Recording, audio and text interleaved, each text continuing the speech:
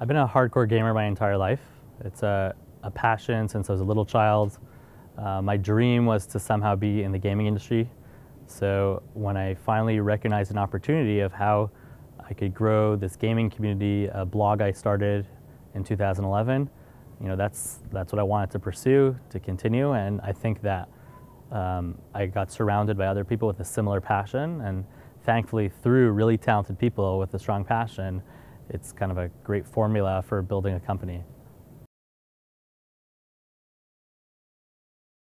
EGLX, we actually started it in a local pub, just as a place for the community to hang out with about 100, 120 gamers. We would do that every Sunday, just um, hanging out, enjoying ourselves, um, and people would pay to get through the door, so at least it would subsidize itself. But slowly that grew to 400 people, and then we had to move into a much larger venue. So we rented some uh, square footage at a convention center and we had about 1,700 people come. And then we realized we were onto something. So we started to raise some funds um, and within a year, we hit 12,000 people and we became Canada's largest gaming convention. A year later, we got to 24,000 um, and now we're expecting about 35,000 and uh, you know, it's just been exploding with celebrities, with big companies coming on board, and the local Toronto gaming community really supporting it.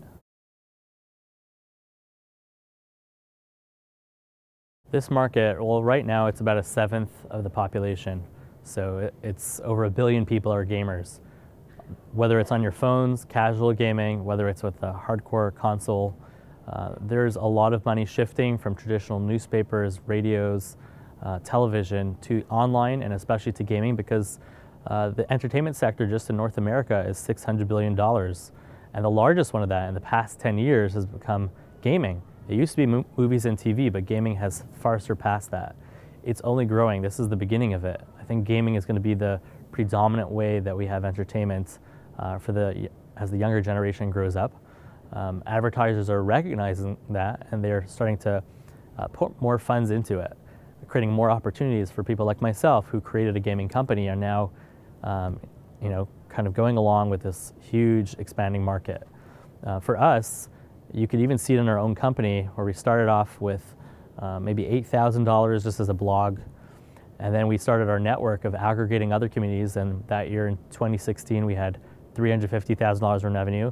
But a year later, we had 3.5 million. So I, I saw this 10x in my own company and we had to scale as quickly as possible to support that. And now we're doing over a million dollars a month in revenue.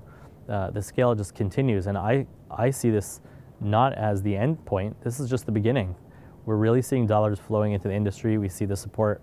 Um, everyone uh, seems to be recognizing it right now. So it's just a massive opportunity. And the fact that right now we're listed in ComScore as number five in the entire North American gaming market uh, in our reach with our 75 million visitors, I think that means that we're positioned really well to be at the forefront of this expanding industry.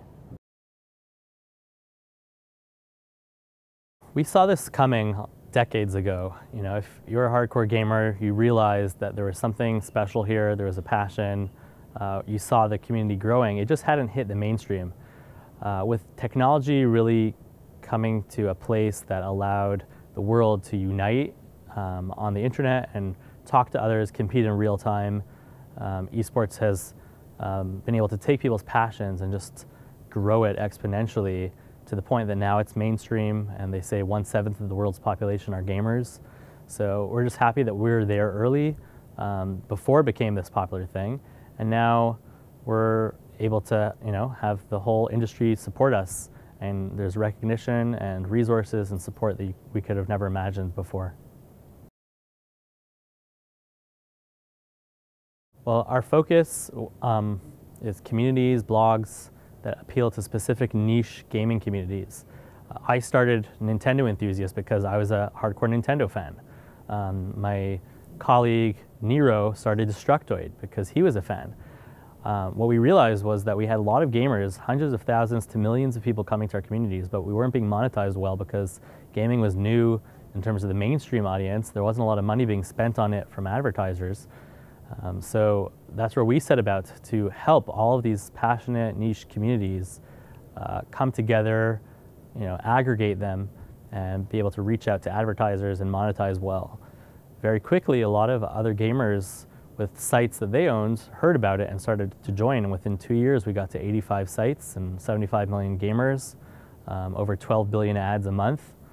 So, you know, we have a, a huge volume of, of advertisers uh, coming to us with um, all the ad inventory we have, uh, and just a constant growth and iterating and optimizing to continue, uh, you know, monetizing it better. 90% of our growth to date has been organic, just growing as additional gaming sites have joined into our network. But now we have the opportunity to take our vision and put it onto steroids um, because when, you know, going through the go public process, we've been able to raise money, uh, get the support of the streets, uh, investors and those who are kind of looking at this burgeoning community. Um, and now we're able to really do a roll-up strategy, execute on a growth plan through acquisition, where there are many gaming sites and communities that are looking to become part of something larger. So I think that we're going to continue our organic growth, but we're going to amplify it with our roll-up strategy and M&A deals.